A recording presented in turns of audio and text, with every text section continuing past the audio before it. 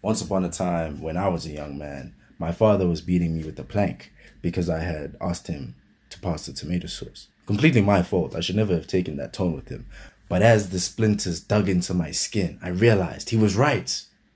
I needed to get a job. So I walked into the first store that I saw, asked to speak to the manager, said, Hey, I need a job. He was impressed by my handshake, and by the end of the day, I was doing deliveries. And after just two weeks of hard work and dedication, I was able to buy your mom an engagement ring, a second car, and a five bedroom house in Beverly Hills. So that's why I get annoyed whenever I see a young person. I ask him how he's doing. He says, Oh, I'm chilling. I'm cooling. Like, what you got to be so relaxed about, dog?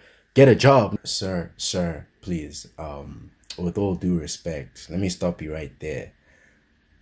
You're living in a fantasy. Okay, you're dreaming about the 1900s, dog. It's not that time anymore. With all due respect, y'all were playing on easy mode, respectfully. Do you know what happens when I go into places and I ask for a job on the spot? Oh, good afternoon. I'm here to apply for the uh, entry level cashier job.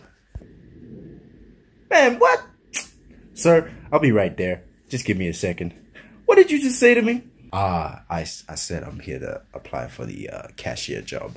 Do you think jobs just fall from trees? Listen here, young blood. It took me two years of side quests, 16 rounds of interviews, and the low, low cost of my dignity to get this position. Oh, you think I'ma just let a brother come here on the day as he feels and get a job? Scram, little nigga, scram. So with all due respect, old man, please, no more back in my days because those are pretty much fairy tales to me. You understand? Another thing, man, we can't even live like y'all, bro. Y'all love to buy up good family homes and turn them into rentals and B&Bs, bro. Like, what up with that? Y'all have no morals, bro. Y'all will do anything for the bag. And y'all forget, man, you created the climate that we live in. So, please. So, don't come at me, bro. I ain't even 25 yet, bro. My brain hasn't even finished developing. This is on y'all, bro.